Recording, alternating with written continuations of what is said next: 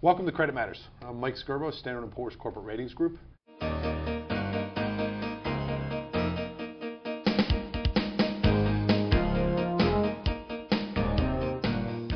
Today we're going to talk a little bit about working capital within the U.S. capital goods sector.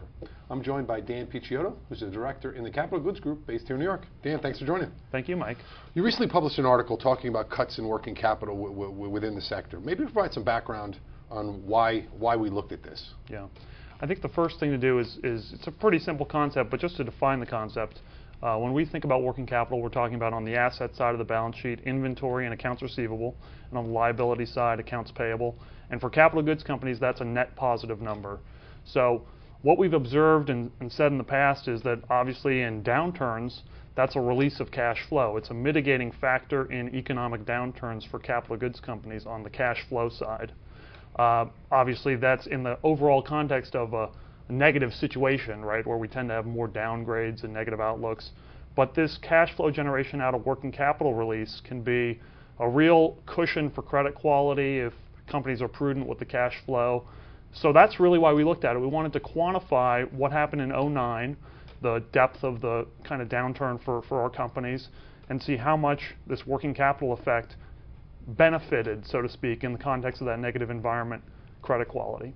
All right, so, so that's a good good backdrop. Maybe get a bit more specific. What what did we look at, and what more importantly, what were the results? Yeah. So in the U.S. capital goods team, we actually follow. Um, uh, about 120 or so companies. Not all of those are pure manufacturers. So we we took a subset of the pure manufacturers. We removed engineering, construction, equipment rental. They have somewhat different dynamics. So we took about 45 manufacturing companies as our sample, um, kind of looking at the fiscal year or the, the calendar year working capital changes. And what we saw was pretty pretty significant and basically about a quarter of the cash flow from operations generated in that year when there was severe revenue declines, on average about 20% for these companies. About a quarter of the cash flow was from working capital release.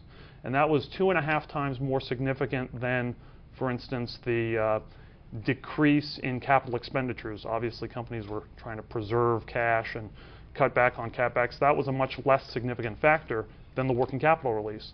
So, what we found was clearly it was a difficult year for the ratings. There were a lot more downgrades than upgrades. But this effect, this working capital release, was significant, allowed companies to pay off some debt, hold some excess cash, things of that nature, which, you know, in some cases really mitigated the downturn. And, and one example that we quote in there is mm-hmm. Caterpillar, which uh, has an A rating, has uh, had a negative outlook at sort of April of 09 timeframe.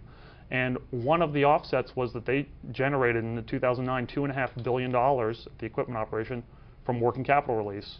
Helped them increase their cash balances that year by $2 billion. And that was one of the factors that supported the A rating. We're now have an A rating with a stable outlook since uh, early 2010. Um, so that that would be um, you know an example of where this this flexibility provided by the working capital was one of a variety of factors. Right, the economy started improving. They were prudent. They did very well on profitability. But this would be another factor, the working capital. Sure, no, that's helpful. Maybe sum this up uh, a, a, little bit with this, with one last question. What does this mean as we look forward for, for ratings? Right. Well, the, the, big question right now is there's sort of these mixed uh, indicators on the economic front. So we don't know. Uh, our economist is not predicting a, a, double dip recession, although the odds are increasing in the U.S. Uh, for 2011, what we see is kind of sales in the aggregate. You, know, you, you have to think about this company by company. There are different dynamics, but in the aggregate in 2011, sales are going to be close to where they were in 2008. It's benefited from some growth from the depths of the bottom, but also acquisition benefits, some foreign exchange translation benefits. So you think about the revenues in total being about where they were in 08.